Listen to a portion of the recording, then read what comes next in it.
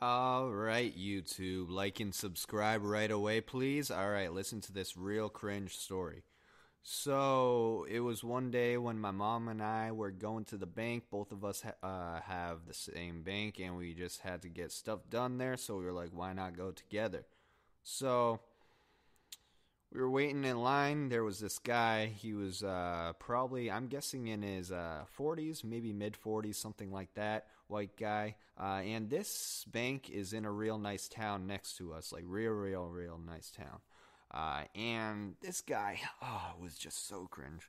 He was he was real triggered, right? Uh, and he was like arguing to uh, like the bank uh, employee, and then like one other bank employee had to get involved uh, and trying to like calm him down and stuff like that. Um, and like the manager had to be called because um, this guy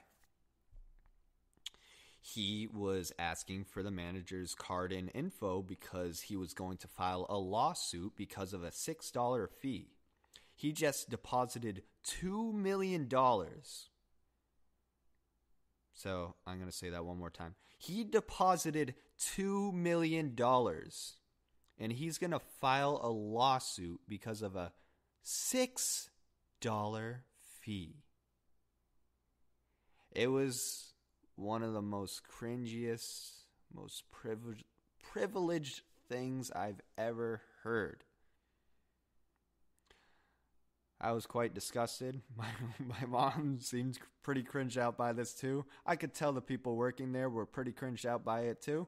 Uh, but obviously, they were composing themselves uh, to be professional and respectful when this guy was being way too rude and he must be a real. Uh, uh, from what I'm assuming, he must be not a very good guy. So that was that story. Real short, but real cringe. Wanted to share that. So if you ever have $2 million and if you're complaining like for $5 like that, just calm the hell down and, be happy you got $2 million, right? All right. Thank you for listening. Bye bye.